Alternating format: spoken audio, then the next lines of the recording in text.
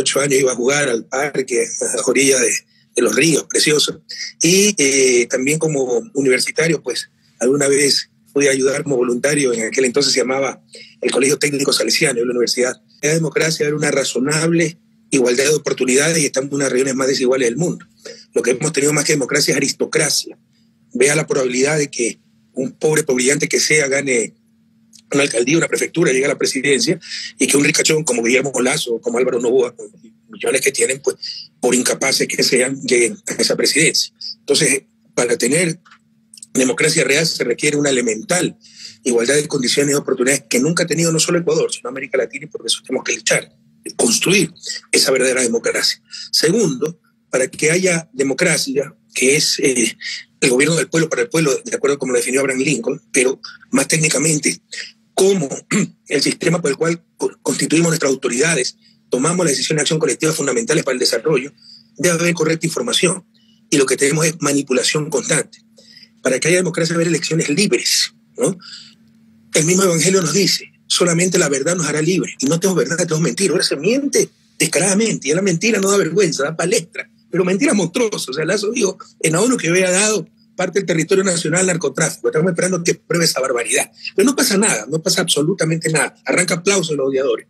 Entonces, si no tenemos información, no vamos a tener elecciones libres y no tenemos democracia. Un componente fundamental. No votar informadamente, no libremente. Y cuando usted está manipulado, le están robando su libertad. Y con todo respeto, para los medios hegemónicos de, de comunicación, son ellos los que manipulan la democracia. Hoy tenemos democracias no populares, sino mediáticas, manejadas por los medios de comunicación, y así hicieron, por ejemplo, el presidente Alazo. Tercero, para que haya democracia, y estas son definiciones de la Organización de Estados Americanos, por si acaso, se requiere reglas preestablecidas. Eso se llama Estado de Derecho.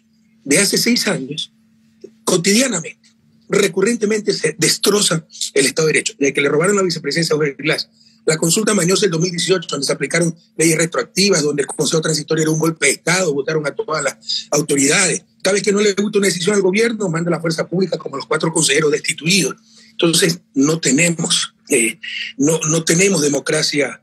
Ya, ya era difícil construir la democracia desde siempre en América Latina, pero el último año ha habido un deterioro democrático terrible. Miren lo que pasa en Brasil, esa es la derecha. La democracia es buena mientras eh, sirva sus intereses, mientras ellos ganan. Cuando ellos pierden, entonces hay que tomarse las, eh, las funciones del Estado, hay que llamar a los militares para que golpe de Estado. Eso es lo que enfrentamos, no hay una posición. Yo nunca tuve una posición de derecha leal. Nosotros somos leales, somos demócratas, ¿verdad? Pero luchamos contra gente que no cree en la democracia. Entonces es un desafío contra la democracia. Tenemos un evento electoral el 5 de febrero. Dentro de los márgenes que da esta democracia, diría plastilina esta democracia eh, electoral, podemos decir electoral, que cada cierto tiempo tenemos elecciones. Pero el desafío es, construir una verdadera democracia y para qué? No solo por el derecho, los derechos políticos a elegir nuestro destino, sino para definitivamente tomar las decisiones de acción colectiva, así como las decisiones individuales son fundamentales. ¿A qué me dedico? Economista, profesor, empresario, qué sé yo. Las decisiones colectivas, a quién elegir como presidente, qué proyectos de Estado apoyar son fundamentales para el desarrollo. Entonces, no solo hay que seguir construyendo esa democracia para disfrutar verdaderamente los derechos políticos, sino para finalmente, definitivamente, superar en su desarrollo. Bien, economista, coméntenos, usted conoce a todos sus candidatos que los tienen todo el territorio nacional, ¿todos usted los ha podido conocer? No, no, esos son movimientos nacionales, eso es imposible. Cuando era presidente conocía a todos. Eso es, es muy difícil, o sea, son 221 cantones, 24 provincias, solo 23 con prefectura, Galápagos no tiene. Concejalías son miles, juntas parroquiales, es imposible conocer a todos. Y dentro de esas reuniones, quizás que han tenido vía telemática, ¿ha podido observar que sí existe ese compartimiento de los ideales de la revolución ciudadana? esa es otra cosa que siempre nos exigen, ¿no? Que, o sea, como que si tenemos que que tener un detector de mentiras o como que si el traidor, el corrupto lo tiene marcado en la frente. Por supuesto que va a haber engaño, por supuesto que va a haber decepciones. La tuvimos con Moreno sin precedentes, o sea, ese es un psicópata, cómo nos engañó. Después de años estar con nosotros, éramos los corruptos, los que teníamos policía política y todas las tonterías que dijo. ¿Y él dónde estaba? Pues entonces, y hay gente que compra esa mentira, ¿no? Pero sí es un caso excepcional, ¿no? Eh, por ejemplo, vean nuestro bloque. Eh, fueron 49 asambleístas electos, dos se vendieron al poder pero hay 47 firmes que pese a las persecuciones, a la amenaza, a las propuestas de corrupción y tanta tontería, a, las dádivas, a los repartos de cargos, se han mantenido leales a, sus convicciones. Entonces es imposible un movimiento nacional de la envergadura de la Revolución Ciudadana garantizar el 100% de los candidatos. Yo digo la verdad, de mí no esperen mentir, de mí no esperen lo políticamente correcto. Eso es así. Usted menciona las convicciones, economista Rafael Correa, y yo le preguntaba justo si podría existir una libre democracia en estas elecciones cuando hemos visto candidatos que han sido víctimas de algunos atentados, inclusive también sus familiares. En ese contexto, ¿podría existir justamente una democracia o podríamos ver el inicio ya de un deterioro de la democracia en Ecuador? De ninguna manera. Pues, otra acepción de democracia es la manera de procesar pacíficamente nuestro conflicto usted recurre a la violencia, obviamente eso no es democracia. Eso es muy preocupante. No sé a qué caso específico se refiere, si, si me lo puede describir, pero en todo caso, sí se ve una polarización terrible del país, y no es nuestro, eh, como en mi época, que eh, le obligábamos que le paguen el mínimo legal a la empleada doméstica, que la filia de seguridad social, y hay un grupo poblacional que nos odiaba, porque en lugar de tener tres empleadas, van a tener solo una y ya no va poder irse a la señorona todo el día al gimnasio. Es inevitable eh, enfrentar esa, esos odios, si usted quiere esa polarización. Pero la polarización solo por inocular odio como instrumento político, eso es tremendamente irresponsable, eso es tremendamente criminal. Y eso es lo que ha habido, no solo en Ecuador, en toda América Latina.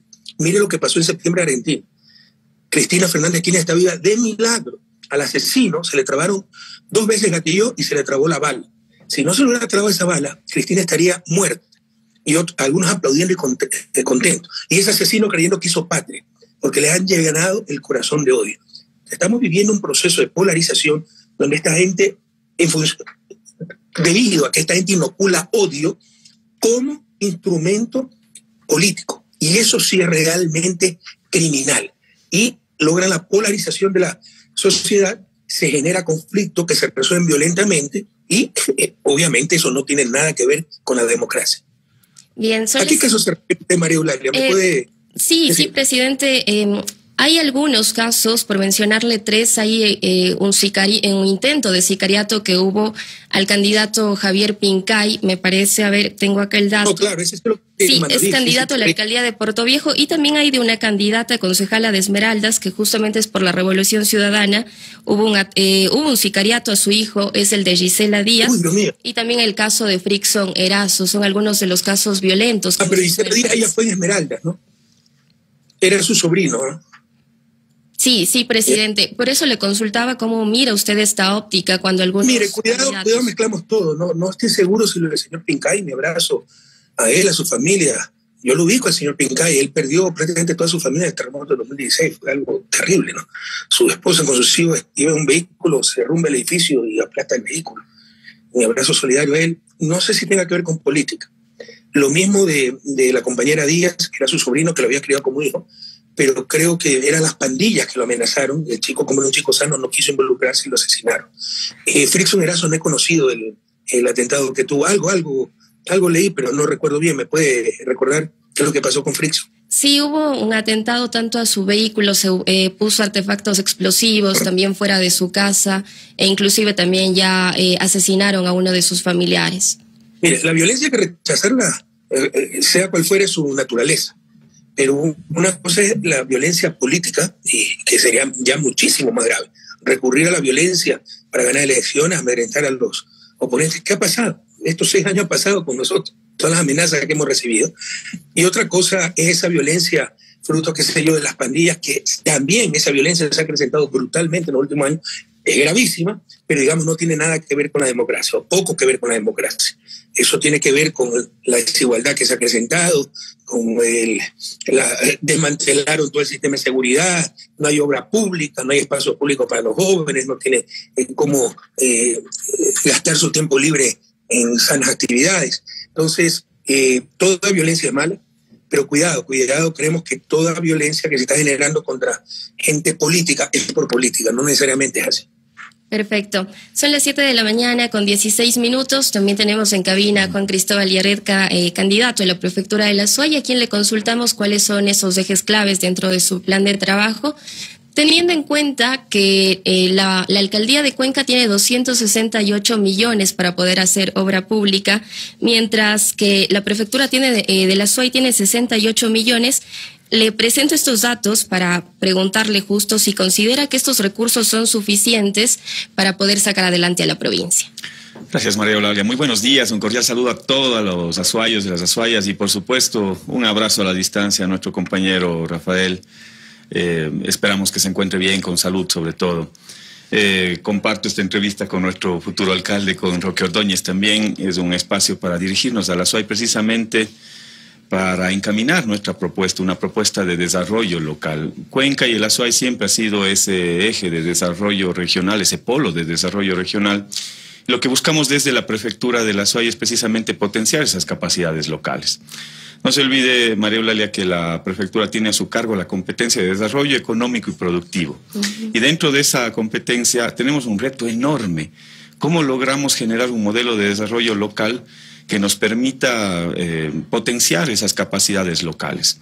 Y es por eso que nosotros, a partir de mayo de este año, vamos a generar el sistema de economía social y solidaria más grande del país, que tenga la posibilidad de trabajar con los diferentes productores locales, eh, sumar esas capacidades locales, no solo agroproductivas, nuestros productores lácteos, nuestros artesanos, cómo transportamos esa carga local y cómo generamos a través de eso un modelo de desarrollo eh, a través de la empresa Impulsar, que es una empresa que vamos a generar en la prefectura de la SUAY, fusionando las dos existentes, AgroASUAY y Latcubones. Porque yo le digo con sinceridad, si bien es cierto, esas dos empresas han cumplido un objetivo, eh, la una está dedicada a los temas lácteos, la otra a los temas agroproductivos, pero ¿quién se está preocupando de los microempresarios? ¿Quién se está eh, preocupando de los jóvenes emprendedores? Entonces, lo que vamos a hacer es un sistema de economía social y solidaria que conecte a todos los actores de la población a través de unidades productivas que tienen que asociarse. Asociar, eh, asociar es tener la posibilidad de generar cooperativas de producción local y poder conectar en un esquema de precios justos a productores con consumidores. Es por eso que a través de la empresa Impulsar vamos a generar 400 tiendas de barrio en la ciudad de Cuenca para que directamente se enlacen los productores con los consumidores en un esquema de precios justos. Es ganar, ganar. Gana el productor porque tiene del otro lado un, potencial consumidor y gana el consumidor porque puede reducir los costos al comprarle directamente al productor. Entonces, con eso vamos a lograr mejorar las capacidades locales e impulsar precisamente el desarrollo de la provincia. Ese es uno de los ejes que para nosotros es vital. Usted me preguntaba acerca del presupuesto. Para ese modelo apenas se destina 1.7 millones de dólares, de los 68 que tiene la prefectura. Es totalmente insuficiente. Se necesitan más recursos económicos, pero digamos, dentro de las capacidades locales de gestión también está la posibilidad de poder contar con, recursos o con apoyos internacionales para poder generar este modelo de economía porque nos permite transversalizar una serie de políticas públicas. Por ejemplo, ¿cómo logramos insertar a las mujeres que son víctimas de violencia para darles independencia económica dentro del modelo? A través de una cooperativa de producción ingresa a esta persona para garantizar su independencia económica y liberarse de ese posible agresor, aparte de la denuncia que tiene que colocar, y la prefectura le compra sus productos con un valor adicional. La misma política puede aplicarse para erradicar el trabajo infantil a través de estas cooperativas de producción. Aquellas que hoy identifiquemos que tienen trabajo infantil, los incentivamos con un valor adicional en sus productos para erradicar precisamente ese trabajo infantil o desnutrición infantil. Entonces es una gran apuesta de desarrollo local, pero para eso necesitamos qué? Conectividad, para eso necesitamos riego y digamos hay un legado importante que nos ha dejado la revolución ciudadana, la capacidad, la experiencia con el presidente Correa, cuando era gobernador de la Soya, en el 2015-2016 trabajábamos, no sé, tal vez 14, 15 horas al día. Y ese bagaje de conocimientos, de experiencia, nos ayuda enormemente para poder enfrentar los retos de una administración local. Esta propuesta de tiendas, hablamos que estarían todos los cantones de Azuay, ¿por cuál se podría comenzar?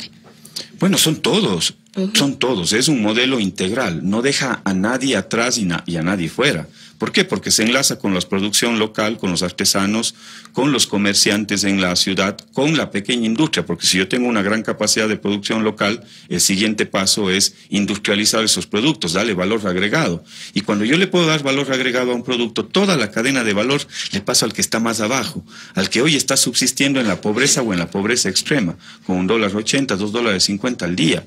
¿Y qué porcentaje de la población es eso? Es cerca del 40%.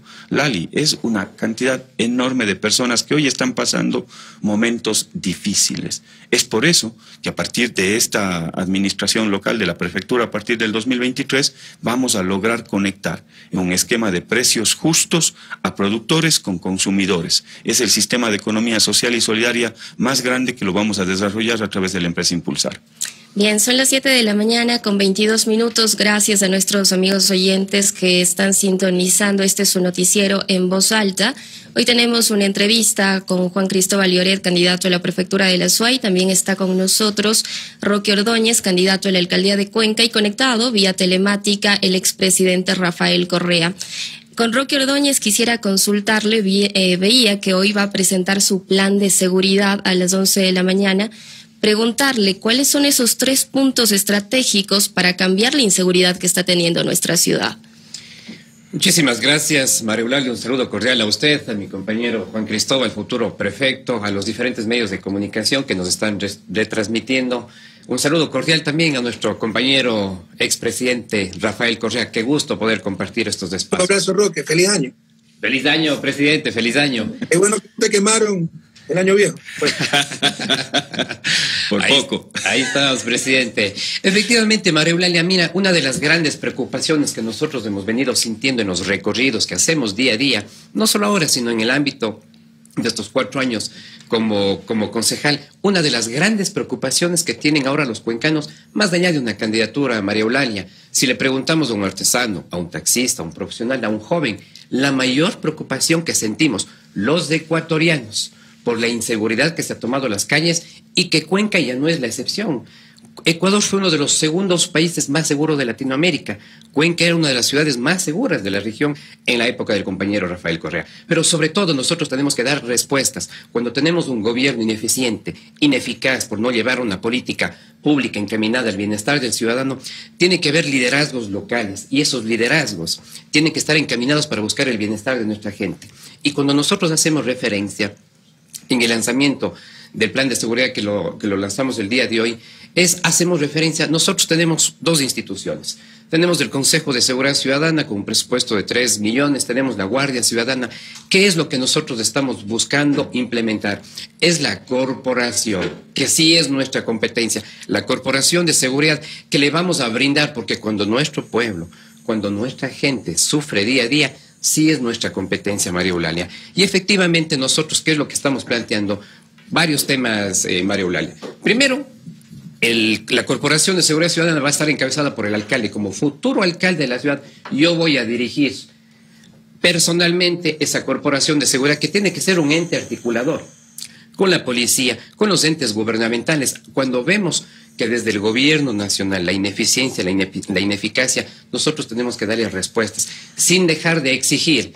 Seremos rigurosos, fuertes, cordiales, respetuosos, pero también exigentes cuando nuestro pueblo, cuando nuestra gente sufre la inseguridad. Imagínese que ahora, actualmente, tenemos la tasa de 7.8 en, el Cantón Cuenca. A nivel nacional está ya en 24 por cada 100.000 habitantes los índices de homicidios. Lo que nosotros buscamos, María Eulalia, a través de esta corporación, es a través de la Guardia Ciudadana, el Consejo de Seguridad, una Guardia Ciudadana encaminada a que sea un ente articulador no una Guardia Ciudadana que persiga a nuestros comerciantes, como lo venimos viendo, una Guardia Ciudadana motivada, orientada, capacitada, formada, con presupuestos, con los implementos que necesitan, porque más allá de ese uniforme, son hijos, son padres de familia, son mujeres también que nos están brindando los servicios. No puede ser posible que desde esta administración municipal la Guardia Ciudadana tenga con sus propios recursos, con su bolsillo, comprarse los implementos. Eso es mendicidad. Nosotros ¿Qué es lo que buscamos? Dotar la seguridad con los implementos y obviamente juntar estos recursos que son entre 3 y 8 millones eh, de dólares para que para tener una corporación encaminada a darle la seguridad que tanto necesitan los cuencanos. Porque si está en riesgo el bien más preciado que es la vida, no podemos tener empleo, no podemos tener turismo, no podemos tener bienestar si nosotros no les damos la seguridad que los cuencanos añoramos y que los cuencanos nos merecemos.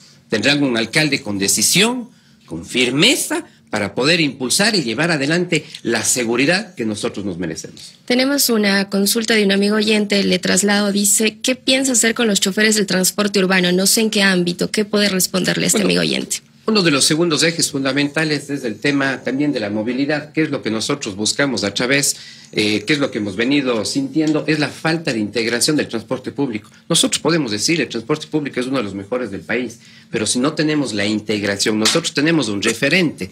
Tenemos el tranvía de la ciudad de Cuenca, que fue una obra de la Revolución Ciudadana, que es un referente a nivel nacional. Nosotros vemos cómo todos los fines de semana vienen los turistas eh, de los diferentes sectores del país y nos añoran y nos envidian tener un transporte público. Y claro, todo eso va de la mano por el tema de la, de la interoperatividad, la conexión de los diferentes intercambiadores que ya tenemos. En el norte tenemos en el terminal terrestre, tenemos en la feria libre, pero eso va de la mano también con liderazgo, con decisión y es particular también con la Cámara de Transporte, con las 475 unidades que nosotros tenemos. Pero pasa, María Eulalia, a quienes nos escuchan, por un tema de decisión, por un tema de convicción de poder llevar adelante la integración del transporte público que tanta falta nos hace. Perfecto, 7 de la mañana con 27 minutos. Vamos a hacer una pausa, pero ya regresamos. Tenemos vía telemática al expresidente Rafael Correa y al regresar le consultaremos como avisora justamente el apoyo del electorado azuayo hacia el correísmo. Ya regresamos, siguen nuestra sintonía.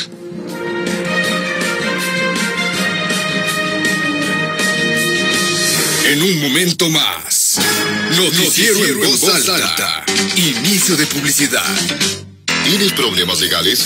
Contrata con el mejor buffet de abogados del austro ecuatoriano. Lex Solutions te brinda asesoría regulatoria en telecomunicaciones, propiedad intelectual, defensa de asuntos laborales, civiles, penales, tránsito, familia y contencioso administrativo. Lex Solutions, la experiencia y resultados es nuestra carta de presentación el doctor Luis Mogrovejo y el abogado Sebastián Muñoz, junto a su equipo de profesionales de derecho, te espera en sus oficinas ubicadas en la calle Cornelio Merchán 265 y José Peralta, edificio Novis. Contacto 0999 795548. Lex Solutions. Sebas, ¿sabes lo que fuera lindo? Llegar a visitar a mis comadres en sus parroquias, pero sin que se dañe mi carrito con tanto hueco. Si hay opción, mamita Michi, en nuestra prefectura duplicaremos el presupuesto para asfaltar todas las cabeceras parroquiales. Sebas Ceballos, prefecto de la SUAY. Vota listas 2. Prefectos CNE 2023. Si quieres vestirle bien a tu auto, venga sobre Ruedas Márquez. Somos importadores. Ventas al por mayor y menor. Lonas enrollables, protectores de balde, moquetas de caucho, corte original y termoformada. Halógenos originales. Fabricamos y adaptamos. Estribos en todos los modelos. Bumper, barra de tiro, parrillas, sobre Ruedas Market. Visítanos en Avenida de las Américas 472 entre Obispo Miguel León y Antonio Machado. Llámanos al 0987 2072 30 sobre Ruedas Market. Todo lo que tu vehículo necesita para darle ese toque especial. Transformamos nuestras vidas y la de todos los que nos rodean. Porque somos gente trabajadora. Somos jóvenes trabajadores, obreros, empleados, empresarios. Somos padres y madres quienes nos levantamos cada día pensando en los nuestros. Nuestro compromiso es fuerte. Sigamos trabajando firmes por transformar la vida de nuestra gente y del Ecuador. Un mensaje de la Cámara de Industrias, Producción y Empleo, CIPEM. ¿Problemas pulmonares y falta de aire? Visita al doctor Diego Guarango Jaramillo, neumólogo endoscopista respiratorio especialista en tratamientos, fibrosis, tromboembolia y pocus pulmonar, broncoscopía, bronconeumonía, cáncer al pulmón, derrame pleural, asma y más. La salud de tus pulmones en manos del mejor especialista, doctor Diego Guarango Jaramillo. Ubícanos en Cuenca, en el Hospital del Río Cuarto Piso, consultorio 437, y en Azogues, en la Clínica San José Quinto Piso. Para citas al 095 9972 928. Fin de publicidad. Aquí te contamos la plena. Noticiero en voz alta.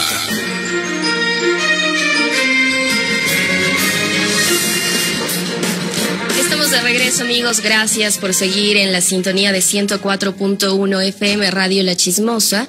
En este su noticiero en voz alta estamos teniendo una entrevista vía telemática con el expresidente Rafael Correa, abordando temas de coyuntura nacional y electoral también. En esta ocasión retomo justamente las preguntas con él para preguntarle cómo avisor ese apoyo del electorado de Azuay y el correísmo. Pero antes quiero hacer un recuento. Recordemos que el último de sus representantes en ganar las elecciones fue Paul Grande en 2009 periodo en el que también eh, a la par era prefecto de la SUAY Paul Carrasco y en 2000 eh, luego de, Paul Grande estuvo como eh, como ganó las las elecciones a la alcaldía de Cuenca Marcelo Cabrera. Hago este panorama, este recuento del panorama, porque estos mismos rostros de políticos ahora están en la contienda electoral. Por ello, ¿cuál cree que será el comportamiento eh, economista de acuerdo a si el electorado de Azuay irá justo por un rostro político ya conocido o será todo lo contrario? ¿Qué es lo que avisora usted? Bueno, Marolalia, eso le toca decidir a los azuayos, a mí. Eh, lo que sí puedo decir, y yo soy muy objetivo, es que el voto Azuayo no nos ha favorecido en las últimas elecciones, lo cual me desgarra el alma, eh, me tristece, porque Azuay y Cuenca eran bastiones de la Revolución Ciudadana, como le decía al inicio de esta entrevista, es una ciudad que quiero muchísimo, con gratísimos recuerdos, y una provincia también que, la llevo en el corazón, y es una provincia muy culta. Entonces, para mí era un orgullo que, eh, apoyar a la Revolución Ciudadana. Ese apoyo ha disminuido, sin lugar a dudas. Probablemente seis años de difamación, de discurso único, de persecución, de mentira, ha calado en cierta gente, pero ya es momento de reflexionar. Después de tanta basura que le meten todos los días los noticieros, la prensa Mónica, los politiqueros, solo pregúntese cuándo vivían mejor. Si, si éramos tan malos, ¿cómo puede haber tanta diferencia? Pero la diferencia es ya caricatural, o sea, parece macondo, parece realismo mágico, ya algo inexplicable. Es de ser el segundo país más seguro de América Latina a ser uno de los países más violentos. Yo dejé el país con unas 960 muertes violentas eh, expresas, ¿no? No todo es muerte violenta, es a propósito, un accidente de tránsito puede haber muerto, pero eso no es asesinato. Asesinato, 960 por, por año. Hoy son más de 4.000, más de cuatro veces. La tasa de homicidio era 5.8 por cada 100.000 habitantes, solo no superaba Chile, que tiene el doble de PIB per cápita, un país mucho más rico o menos pobre que Ecuador. Hoy esa tasa de homicidio es 24, como lo dijo Roque, me parece, por cada 100.000 habitantes. Hay ciudades como Esmeraldas que estén 40 esa tasa de homicidio y una de las 50, perdón, de las 7, me, dicen ciudades más violentas del mundo. Guayaquil es que está entre las 50 más violentas. Cuenca no solo era la ciudad más pacífica de América Latina, era del mundo. ¿Cuánto habrá sido la tasa de homicidio en Cuenca? Tres por cada 100.000 habitantes. Hoy está en más del doble, como lo mencionó Roque. Entonces, el cambio es demasiado drástico para que la gente siga engañándose. Y aquellos que nos odian sin conocernos por mi manera de ser, porque soy mono, porque soy autoritario, tantas cosas, sin conocerme. Pero ya es momento de reflexionar. O sea, ¿cuándo vivían mejor? No pedimos que nos quieran a nosotros, quieran a su familia. Miren cómo está el país. Hagamos una pausa, no podemos ser tan apasionados, tan viscerales. Debemos reflexionar. Miren cómo se destrozó el país. Pero además son mentiras todo lo que se ha dicho. No, la corrupción. ¿Usted cree que después de seis años de persecución si fuéramos corruptos no hubieran encontrado una cuenta, un dólar, una vida. Ya está causa risa. Cada vez que buscan, encuentran en su plata, su dinero en paraísos fiscales. Tienen toda la protección de la prensa hegemónica y del Estado, porque se tomaron todo el Estado, para darle impunidad a Pandora Paper, In Investment y tanta cuestión. Entonces, eh, eh, hasta contrataron empresas para, para revisarnos nuestras cosas, ¿no? Vean datos, no relatos. Vean, jóvenes que me escuchan, las hay. Vean Transparencia Internacional, no solo que luchamos contra la corrupción, Fuimos el país que mejor lo hizo el 2007 al 2017. Fuimos el país que más bajó en el ranking de transparencia internacional. Yo encontré al país en el puesto 150 del ranking, mientras más alto el ranking, más corrupción, y lo dejamos en el puesto 120, y eso que lo subió en los últimos años, porque estamos en el puesto 100 más o menos, porque hay, es, un ranking de percepción, y con los escándalos de refinería de Brest subió un poco, pero bajamos 30 puestos el país que más redujo puestos en el ranking de corrupción. Esa es Revolución Ciudadana. Ah, pero es que entonces este caso aquí, o de Brecht, que ocurrió en 12 países, que todos somos corruptos y le arman una narrativa. Corrupción es lo que hay ahora. Cuando vas al registro civil y tienes que pagar para que te atiendan, cuando se venden los cupos en las escuelas, en las universidades, cuando se venden los cargos públicos, frente a la indolencia de la gente. ¿Usted cree que todo el problema es narcotráfico? ¿Cómo puede meterte un tanque de guerra en las cárceles? Porque es corrupción. Y corrupción tolerada. Es un gobierno corrupto. No es que tiene caso de corrupción, que es inevitable y la combatimos con toda nuestra fuerza. Primera reflexión. Segundo, por ejemplo, dijeron, ah, todas las obras con sobreprecio. No hay un juicio sobre precio. El reajuste de contrato le llamaron sobreprecio. O sea, el tranvía de cuenta tuvo reajuste. Pero como era el alcalde, Marcelo Cabrera, entre otros, ¿no? Ahí no hay problema. Pero si hubiera sido un correísta, entonces le, le crean en la narrativa que es sobreprecio. Eso no es sobreprecio. Eso es reajuste de precio, que no es, no es deseable, pero es, no, es común y es absolutamente legal. Ah, no, es que este, esta le faltó un ladrillo y se moraron y que, oiga, nosotros tuvimos 100 mil millones de dólares en inversión. Puedes revisar la cuenta nacional.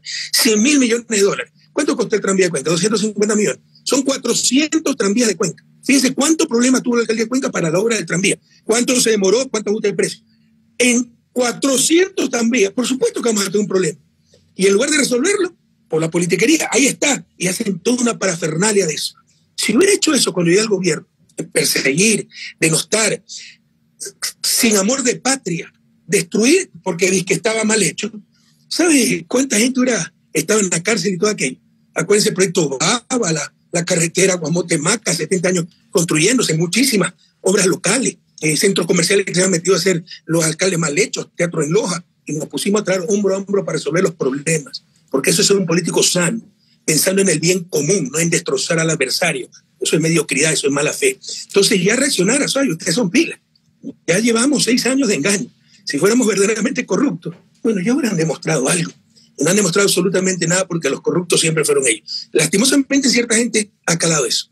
Ojalá, después de casi seis años de destrucción, de haberse dado cuenta el engaño de abril de 2021, cuando a mí me impidieron horas antes de inscribirme como candidato, me condenaron por influjo psíquico para impedirme regresar a mi patria y con eso hicieron presidente a Lazo. Cuando no nos ganó Lazo, ganó lo que usted decía al inicio, Marulane, la campaña sucia, violenta contra el candidato Andrés Arauz. ¿no? E hicieron votar por Lazo. Ojalá nos, demos, nos hayamos dado cuenta ya del engaño. No olvidar a los colaboradores de Lazo, como Marcelo Cabrera, que hoy se presentan de nuevo candidato porque no pueden vivir sin, sin estar eh, en el sector público en todos lados. Entonces, bueno, ya le corresponde al pueblo asayo responder a su pregunta, Mario ¿qué espera? O sea, yo espero obviamente el apoyo. Ya es la decisión del pueblo asayo ver si eligen jóvenes, gente fresca, gente sana, gente buena, o los mismos de siempre que se han prestado a la destrucción del país y a tanta mentira, a tanta mentira. Esto no es cualquier cosa. La verdad, como le explicaba también en el caso de la democracia, es un bien fundamental, parte del bien moral fundamental para una sociedad. Nos han robado esa verdad. Los villanos son héroes, los héroes son villanos es que falte respeto, que atropello la razón, como dice el tango Cambalache, porque los corruptos siempre fueron ellos. Pero ya le toca al pueblo sabio decidir sobre aquello. Economista, esa comparativa mismo de resultados que tuvo su gobierno, ¿no cree que le ayude a tener un repunte en algunos cantones que en las últimas elecciones presidenciales no se notó? Porque revisaba los resultados de la primera vuelta de las elecciones presidenciales y estuvo en primer lugar Yacu Pérez y estuvo en segundo lugar la Revolución Ciudadana. Sí, en la segunda vuelta eh, ganó eh, el gobierno nacional, el actual gobierno, pero recordemos que hubo algunas alianzas también que se tuvieron dentro de algunas organizaciones políticas. Con esa comparativa de resultados que usted justo nos presenta, ¿no cree que podría ser destacar en estas elecciones seccionales? No entendí bien la pregunta, Marulalia. ¿Usted cree que los resultados que siempre usted destaca esto de dato y no relato, justo los datos, las cifras en temas de, por ejemplo, de seguridad, ¿no cree, ¿no cree que le haga destacar en estas elecciones seccionales a comparación de lo que fueron las elecciones presidenciales? Bueno, debió destacarse más en las elecciones presidenciales, ¿verdad? Y no pasó por la manipulación de la prensa, por los engaños, muchas veces por el odio que han inoculado en ciertos corazones y que ya anula la razón, ¿no? Porque incluso yo puedo tener a alguien que me caiga mal, pero si veo que mis hijos pueden salir seguros a la calle, que la educación mejora, los servicios públicos, obras por todos lados, eh, protección a la producción nacional, apoyo a la economía popular y solidaria, a pesar que me caiga mal, voto por esa persona porque quiero a mi padre, quiero a mi familia. Pero esa vez una característica de su desarrollo, ¿no? Dominan las pasiones, no la razón. Te odio, Correa, y así mi familia no puede salir con calma a la calle, voto contra ti, que se destruye el país, pero te odio y te gané. Y estoy feliz porque te gané. Y si más tarde se muere tu mamá y no puedes estar en el país, qué bien, porque te odio Correa. Hay gente que vive para destruir, para Ojalá superemos, superemos esa forma de actuar porque nos destroza como sociedad y una de las causas de su desarrollo. Ya se dieron dar cuenta de eso hace mucho tiempo, con todo respeto. Ojalá en estas elecciones excepcionales se encuentra, pero era más claro en las elecciones presidenciales del año pasado. Ustedes mencionó, sí, había olvidado que Jaco Pérez ganó la primera vuelta. Yo le pregunto con todo cariño, Soy, ¿qué, ¿qué pasa, Soy? Sea, Jaco Pérez no es mi estilo, lo que me yo no soy mediocre. No necesito hundir a mis contrincantes para sobresalir. O sea, la forma de sobresalir en política es ser lo mejor que el resto. Pero Jaco Pérez es, es Bien, 7 de la mañana con 41 minutos. Eh, tuvimos una dificultad con el Zoom, pero ya vamos a retomar nuevamente esa conexión. Paso en este momento con Juan Cristóbal Lloret quien está como candidato a la prefectura de la SUAY. Y ayer estuvo en el debate, ayer eh, noche, el debate de los candidatos a la prefectura de la SUAY, y hubo alguna exposición en temas de seguridad por parte suya. Indicaba que hay el Consejo Provincial de Seguridad para tener una mejor articulación y también tener ese apoyo para disminuir justamente los hechos de violencia que hay en el país. Sí, María Eulalia, mire, una de las principales preocupaciones que tienen los azuayos en este momento tiene que ver con el tema de seguridad. Y es evidente, digamos, los logros que se alcanzaron en el gobierno de la Revolución Ciudadana. Nosotros recibíamos en el país en el año 2007 con una tasa de 17 muertes violentas por cada 100.000 habitantes. Cuando terminamos el gobierno con el compañero Rafael Correa, la tasa de homicidios y asesinatos eh, bajó al 5.8%, es decir, de 17 bajamos al 5.8%. O sea, hay una disminución considerable en la tasa de homicidios y asesinatos. ¿Y cómo lo hicimos? Lo hicimos con un modelo de articulación, con institucionalidad, con políticas públicas y con recursos económicos. Y cuando me refiero a institucionalidad, teníamos Ministerio Coordinador de Seguridad, Ministerio de Justicia, Ministerio del Interior, Secretaría de Inteligencia, Escuela de Guías Penitenciarios, todos esos, eh, todos esos ministerios los desbarataron en el gobierno de Moreno y apoyado por el presidente Lazo. Entonces, ¿qué es lo que hicimos para poder lograr esos objetivos importantes de país, bajar la tasa de homicidios eh, y asesinatos, obtener una sociedad menos violenta? Primero, trabajar en, temas integrales, políticas públicas para reducir las brechas sociales, acortar las diferencias entre pobres y ricos. Lo segundo que hicimos es tener institucionalidad y políticas públicas. Una de esas políticas que se implementaron, porque yo fui gobernador en el año 2015, 2016, y en esa época el país, el Ecuador era el segundo país más seguro de América Latina, y cuando dejábamos la gobernación, la provincia de La Suay era de las más seguras del país. Entonces, ¿qué es lo que vamos a retomar? Vamos a retomar el Consejo Provincial de Seguridad, que está establecido en el artículo 41 del COTAD, que es una facultad que tiene el prefecto de la SUAY. La posibilidad de qué? De coordinar con la Policía Nacional, dice el artículo 41, y con las diferentes instituciones. Ya lo hicimos en el año 2015-2016 Vamos a generar el Consejo Provincial de Seguridad que articulará con el, eh, con el Consejo Cantonal en el caso de, de, Roque y con los diferentes municipios locales, que coordinará con las juntas parroquiales, que coordinará con la Policía Nacional, Fuerzas Armadas, Bomberos, Cruz Roja, Q911, un modelo de articulación que nos permita tener políticas de prevención y políticas antidelincuenciales. Les menciono una de ellas, que es un reto para nosotros también vamos a generar seis controles integrados de seguridad. Esos controles integrados de seguridad estarán al ingreso de la provincia de La Suay, con la más alta tecnología, con cámaras de reconocimiento facial, con cámaras lectoras de placas en los vehículos conectados todos al EQ 911. Todas las personas que ingresen a la SOI van a ser revisadas. En los controles va a estar uno en Tamarindo para la vía Cuenca Molleturo Naranjal, otro control en la zona de Sarayunga, en la vía Cuenca Girón Pasaje, eh, en la autopista Cuenca Sogues, en, en las vías que conducen a la Amazonía ecuatoriana.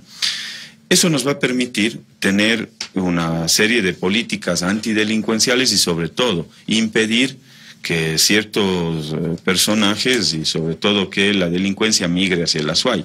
Yo le quería dar unos datos interesantes porque hay un elemento que quizás inclusive con el propio compañero expresidente Rafael Correa lo podamos profundizar adicional.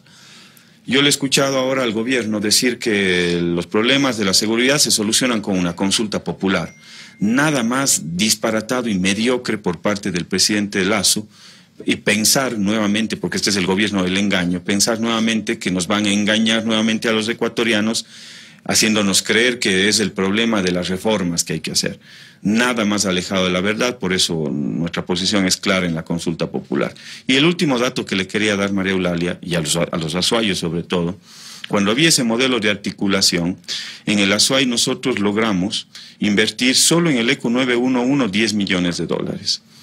Construimos 15 UPCs en la provincia de La Azuay con 4.5 millones de dólares de inversión. Reconstruimos 17 unidades de policía comunitaria en el Azuay. Teníamos patrulleros, teníamos equipamiento para la policía, teníamos un modelo de gestión en la Policía Nacional de distrito, circuito y subcircuito los oficiales que tenían que ascender eran evaluados precisamente en función de cómo dejaban ese circuito o ese subcircuito eh, a su salida y eso eran puntos para su ascenso. Es decir, todos se esforzaban por tener una ciudad más segura y una provincia más segura. Eso es lo que vamos a recuperar, recuperar la paz y la convivencia ciudadana y poder tener un modelo de gestión local para hacerle frente a la delincuencia.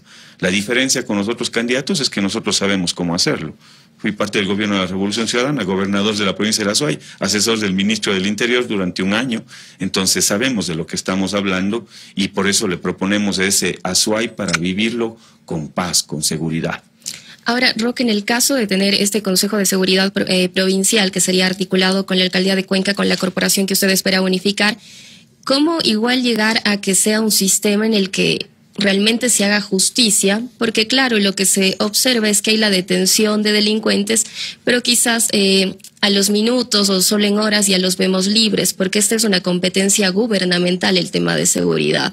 ¿Cómo en ese caso tener un buen engranaje con el gobierno nacional para también mejorar el tema de seguridad? Es importante la articulación de las autoridades, lo que no ha venido sucediendo actualmente.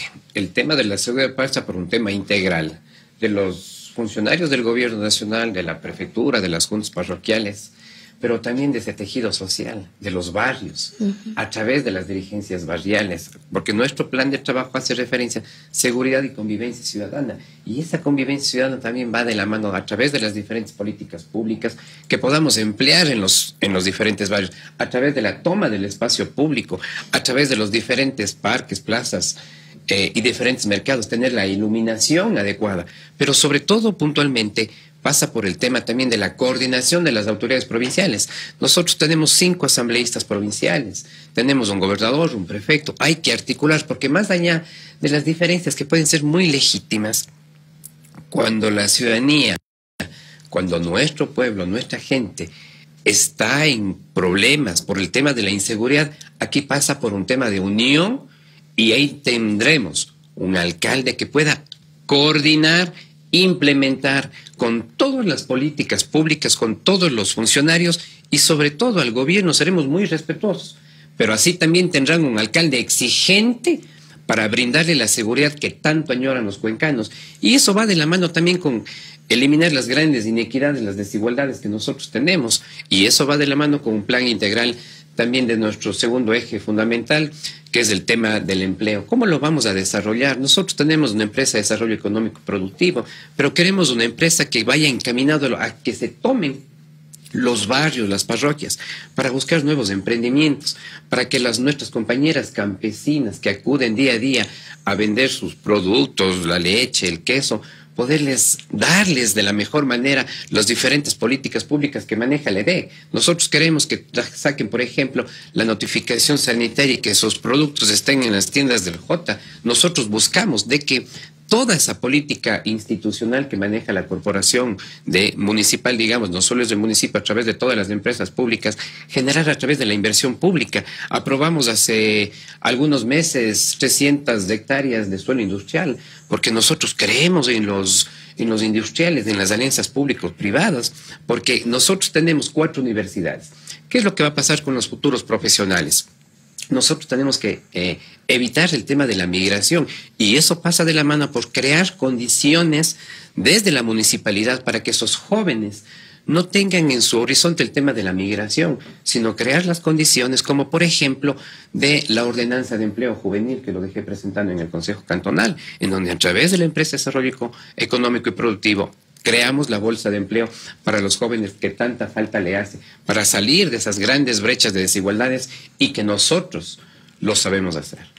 Bien, 7 de la mañana con 50 minutos. Tenemos nuevamente conectado al expresidente Rafael Correa, a quien le consulto acerca de las ocho preguntas que ha presentado el Gobierno Nacional para el referéndum de 2023. Y una de esas preguntas es la extradición de ecuatorianos con la intención de que sean juzgados en otros países debido a la crisis judicial y carcelaria que se tiene en nuestro país. Eh, expresidente, le consulto si usted no mira esto como una, como una buena óptica para frenar el crimen, eh, el crimen organizado transnacional, si bien no es un cambio integral en temas de seguridad, ¿no cree que es un primer paso? De ninguna manera, es uno de los tantos engaños, pero la idea que lastimosamente se interrumpió el, link, con todo respeto, estaba opinando sobre Jaco Pérez, que no es mi estilo, pero sí me preocupó mucho. Yo le pido con cariño a los azuayos, revisen bien. Revisen bien la autenticidad de la gente. Aquí tengo un tipo que hasta se cambió el nombre para parecer indígena, que actúa muy cercano a la Embajada de Estados Unidos. La estrategia de Estados Unidos es crear estos candidatos artificiales para dividir al progresismo y lo lograron que tal vez sin Jaco Pérez ganábamos en una sola vuelta y la historia del país habría sido totalmente diferente. Mire, la, consulta popular es una cortina de humo. Yo ya estoy viejo para caer en lugares comunes, eh, los discursos políticamente correctos. Siempre es bueno consultar al pueblo, no es verdad. Usted puede consultar al pueblo para manipularlo. Hemos tenido muchísima experiencia en Ecuador en los últimos años.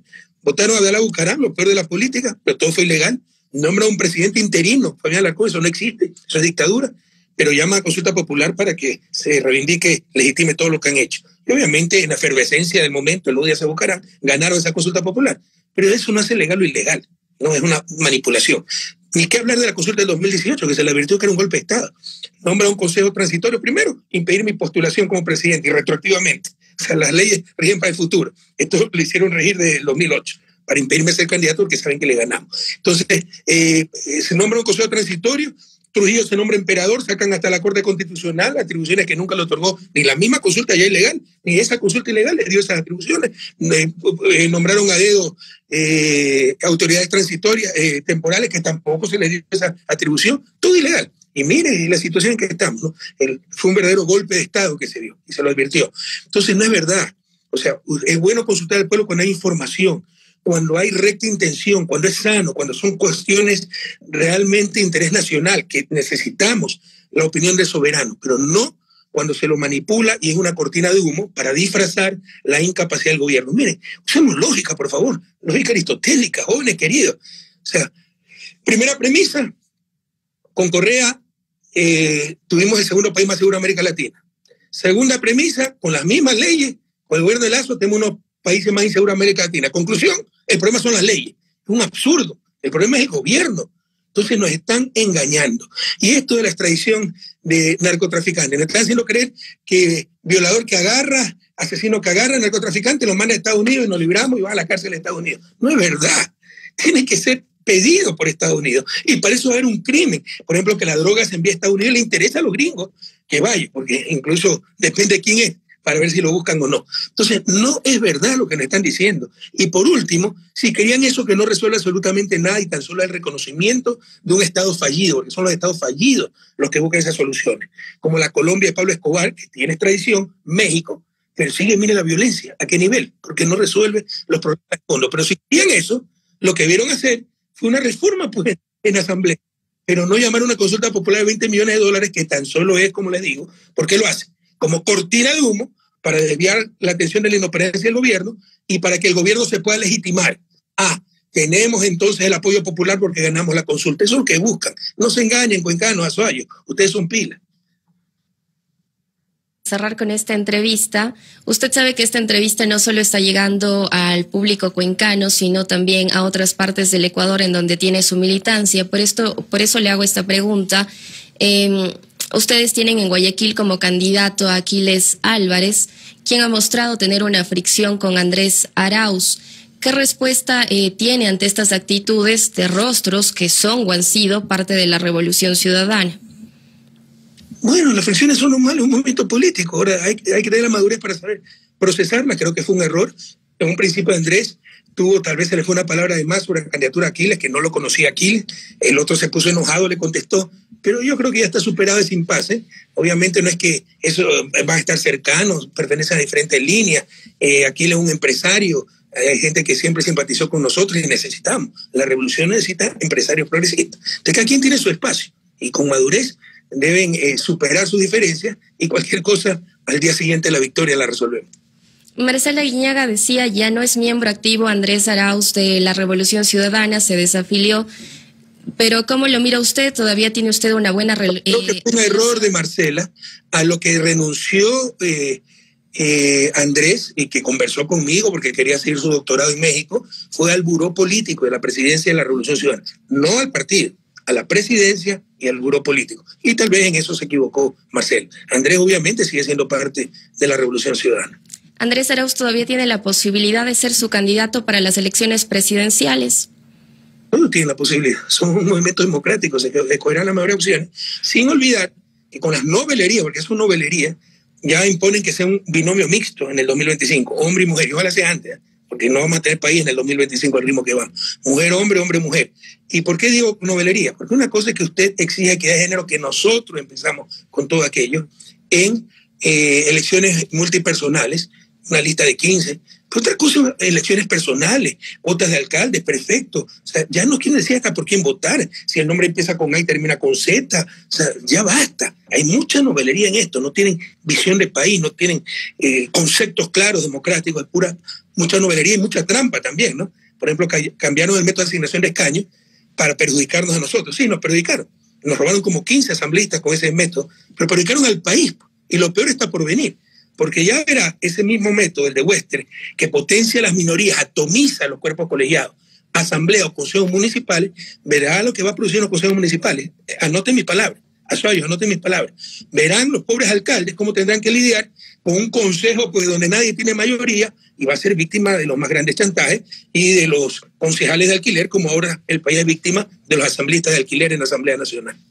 Bien, economista, por favor, un mensaje final para el público cuencano, para el público azuay. Solo una pregunta, María Eulalia. Primero que eh, yo no los vi, ¿ustedes sí me ven? Sí, sí, sí, lo estamos teniendo en vivo. Esto se transmitía video también, ¿no? Sí, lo, lo eh, tenemos en nuestra página de Facebook. Es más, tenemos varios conectados en nuestra página, varios comentarios que hemos tenido. Qué bueno, porque hasta perfume me puse para la entrevista. Está bien. me hubiera encantado verla porque creo que ha conducido muy bien esta entrevista. Usted tiene 25 años, mi hija tiene 25 años y también es periodista. Así que felicitaciones, María Eulalia. Muchas gracias por esta entrevista. A mis compañeros, pues Juan Cristóbal, a mi compañero Roque, eh, la mejor de la suerte, todo el apoyo y así, y de igual forma todos los candidatos, Chordelega, El Pan, Girón, Guachapala, Gualaceo, Nabón, Oña, Paute, Puz Enrique, Pucará, San Fernando, Santa Isabel, Sevilla de Oro, Sixi, a todos el más inmenso abrazo y con más ganas que nunca. Este es el primer paso para recuperar la patria. Cuencanos queridos, Azuayo del alma, este es el primer paso para recuperar la patria. Nos han quitado el tiempo, eso no se recupera. El dolor humano es muy grande, el costo es muy grande, pero podemos recuperar la patria y volver a esa senda de indudable progreso que en unas décadas no iba a sacar de su desarrollo. Ya no veré en vida a mi país fuera del, del desarrollo, gracias a la traición de Moreno y a sus cómplices. Pero ustedes, tal vez los que me escuchan, sí lo verán, si retomamos esa senda. Entonces, el primer paso son estas elecciones del 5 de febrero del 2023, con más ganas que nunca, todo, todito cinco. La Revolución Ciudadana es lista cinco. Tan solo pregúntate, después de tanta difamación, mentira, escándalo, ¿cuándo vivías mejor? ¿Cuándo tu familia tenía seguridad? Cuando había trabajo, dinamismo, cuando había servicios públicos, obras públicas, cuando había dignidad, justicia, cuando había verdad. ¿no? Y es claro que el 2007 al 2017 fue esa década, con todas esas características, con más ganas que nunca.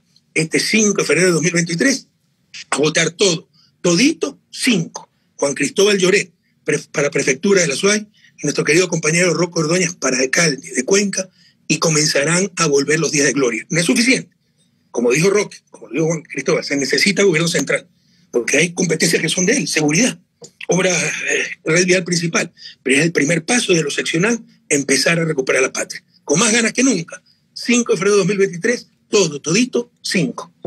Gracias, economista. Un gusto haber conversado con usted. También, por favor, un mensaje final por parte de Juan Cristóbal. Bueno, muchas gracias. Eh, saludarle al presidente a la distancia, un abrazo y mucho ánimo, mucha fuerza. Aquí estamos trabajando muy fuertemente con nuestros compañeros y compañeras. Quiero agradecer eh, a usted, Lalita, gracias por la, por la conducción. Quiero agradecer a las plataformas que se conectaron, Actualidad del Valle, Radio Alfa, Prensa Virtual, Radio Cóndor, Info de Una. Agradecer a los compañeros, a los ciudadanos que se conectaron también a través de TikTok. Yo tengo un mensaje al final, es un mensaje de esperanza. Vamos a recuperar precisamente la patria, vamos a recuperar la seguridad, eh, un modelo de desarrollo local, el trabajo, la vialidad, el ingreso económico para nuestras familias. Vamos a lograr un Azuay para vivirlo, para vivirlo en paz, en armonía, con seguridad. Y lo más importante de todo, que nosotros sabemos cómo hacerlo y lo vamos a construir juntos, junto a ustedes, al pueblo azuayo que nos va a apoyar en estas elecciones. Muchas gracias. Rocky, usted un mensaje final y por cierto, este fin de semana lo vamos a ver en el debate también. Muchísimas gracias. Sí, em, estimados amigos, qué gusto poder compartir este espacio junto al compañero Rafael J. Creo que es importante dar un mensaje. Ya lo decía J, un mensaje de esperanza. ¿Cómo vivíamos antes los cuencanos? ¿Cómo vivíamos antes los ecuatorianos? ¿Cómo estaban nuestras familias? Y para eso necesitamos recuperar, recuperar la institucionalidad, recuperar la autonomía, la descentralización. Cuenca ha perdido esa voz disonante ante el contorno nacional, ante unos gobiernos centralistas que nosotros buscamos darle dignidad, darle seguridad que teníamos, salud, educación, bienestar, mejorar la calidad de vida de los cuencanos. Esa siempre va a ser nuestra tarea primordial. Y para eso es importante con la ciudadanía, junto al pueblo, junto a nuestra gente, poder recuperar a todas las juntas parroquiales, a nuestros compañeros y amigos en un solo puño, poder llegar a la victoria y poder recuperar una cuenca para todos y para todos, una cuenca que sea cercana a los ciudadanos. Buscamos una administración transparente, participativa, que los ciudadanos puedan llegar a una administración municipal, que tengan un alcalde de puertas abiertas. Eso es lo que buscamos. Y a la final del día, vivir mejor, como ya lo hicimos en la época de la Revolución Ciudadana. Muchísimas gracias, querida Eulalia, y a quienes nos escuchan.